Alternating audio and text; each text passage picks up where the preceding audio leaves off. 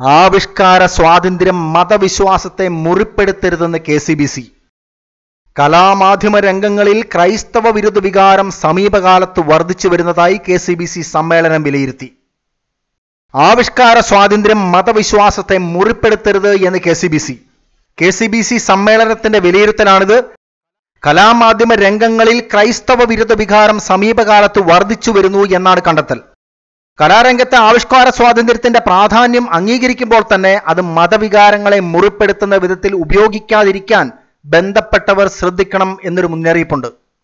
ക്രിസ്തീയ വിശ്വാസത്തിന്റെ അടിസ്ഥാന പ്രമാണങ്ങളെയും കൂതാശകളെയും പൗരോഹിത്യത്തെയും ക്രൈസ്തവ പ്രതീകങ്ങളെയും അവഹേളിക്കുന്ന പ്രവണത കലാരംഗത്ത് വിശേഷിച്ച് ചലച്ചിത്ര മേഖലയിൽ വർദ്ധിച്ചു വരുന്നുണ്ട്.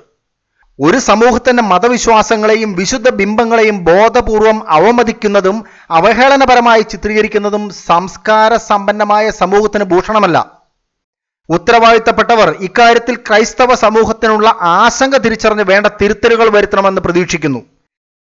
ഇത്തരം സംഭവങ്ങളോടുള്ള പ്രതികരണങ്ങൾ പ്രതിപക്ഷ ബഹുമാനത്തോടെയും ക്രിസ്തീയ ചൈതന്യത്തിന് ചേർന്ന മാന്യതയോടെയും ആയിരിക്കാൻ ബന്ധപ്പെട്ടവർ ശ്രദ്ധിക്കണം എന്നും സമ്മേളനം ആവശ്യപ്പെടുന്നു. ഈശോ കേശു ഈ വീടിന്റെ നാഥൻ എന്നീ സിനിമകളെ തുടർന്നുണ്ടായ വിവാദം ഇതിൽ കെ സി ബി സി നിലപാട് കഴിഞ്ഞ ദിവസം പ്രഖ്യാപിച്ചിരുന്നു.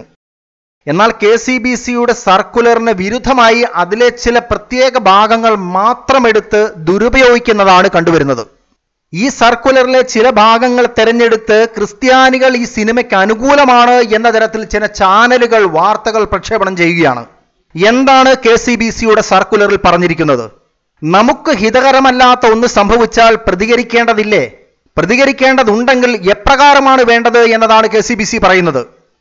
ഈശോ എന്ന ചലച്ചിത്രവുമായി ബന്ധപ്പെട്ട വിവാദങ്ങൾ പുതിയ ചർച്ചയിലേക്ക് വഴിമാറിയിരിക്കുന്നു. ഈ വിഷയം പല കാരണങ്ങൾ കൊണ്ടും നമുക്കിടയിൽ ചർച്ച ചെയ്യപ്പെടേണ്ടതുണ്ട്. ഇത് നിസ്തർഹമാണ്.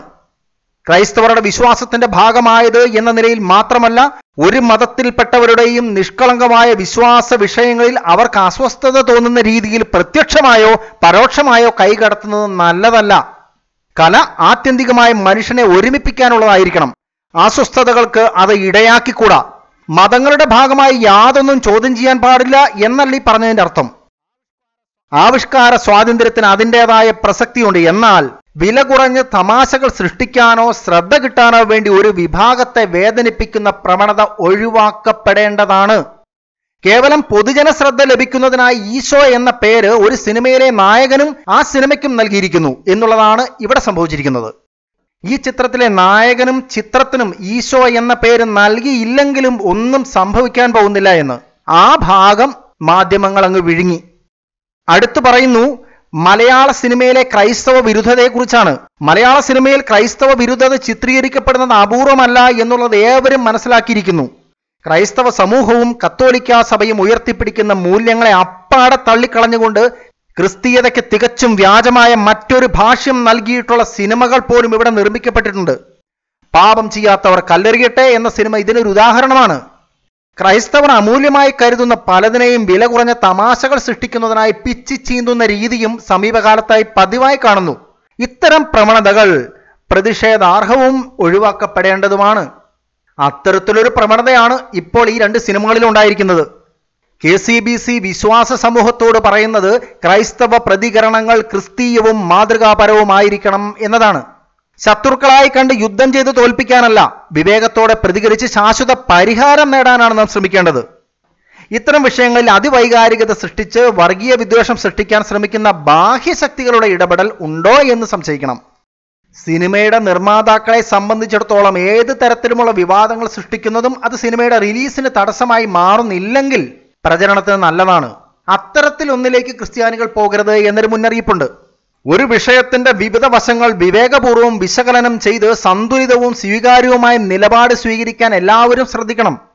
ക്രൈസ്തവ സമൂഹത്തിൽ സമീപകാലത്തായി വളർന്നു വരുന്ന സമുദായ ബോധത്തിന് ഒട്ടേറെ സദ്ഗുണങ്ങളുണ്ട്. ഒരുമിച്ച് മുന്നേറണമെന്നും അതിക്രമങ്ങളെയും കടന്നുകയറ്റങ്ങളെയും ഒരുമിച്ച് നിന്ന് പ്രതിരോധിക്കണം എന്നുമുള്ള തിരിച്ചറിവ് മോശമല്ലാത്ത ഒരു വിഭാഗം ക്രൈസ്തവരിൽ രൂപപ്പെട്ടിരിക്കുന്നത് കാലഘട്ടത്തിന്റെ ആവശ്യം കൂടിയാണ്. ഇതാണ് കെ സി ബി സി പറഞ്ഞിരിക്കുന്നത്. ഇത്രയും വലിയ ഒരു സന്ദേശം ഒരു വലിയ മുന്നറിയിപ്പിനെ വളച്ചൊടിച്ചുള്ള വിശകലനങ്ങളുമായാണ് മാധ്യമങ്ങൾ മുന്നോട്ട് പോകുന്നത്.